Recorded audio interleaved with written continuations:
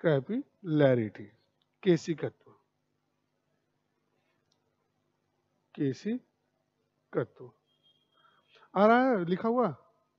केसिकत्व मैंने बताया था कि इसको जानने के लिए आपको क्या जानना होगा? सबसे पहले आपको जानना होगा कि what do we mean by capillary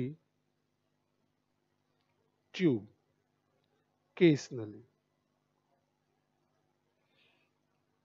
case नली केस नली क्या होती है? मैंने बताया केस मतलब होता है बाल बाल के समान जो पतली नली होती है, उसे कहते हैं केस नली।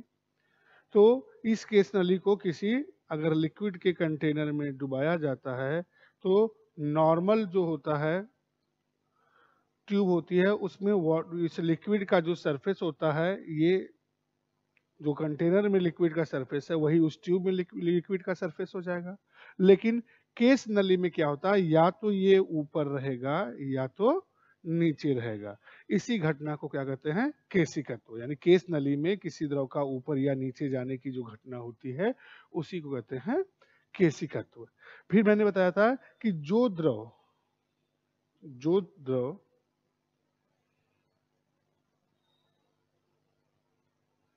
जो द्रव कांच को गीला कर दे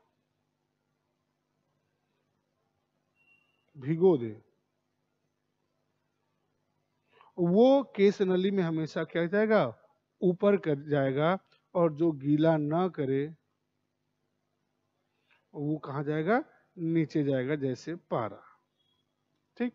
यानी पारा जो अगर केस नली में डालोगे तो हमेशा वो उसका सरफेस उसका जो है, वो नीचे ही रहेगा और दूसरा कोई भी द्रव है तो ऊपर जाएगा।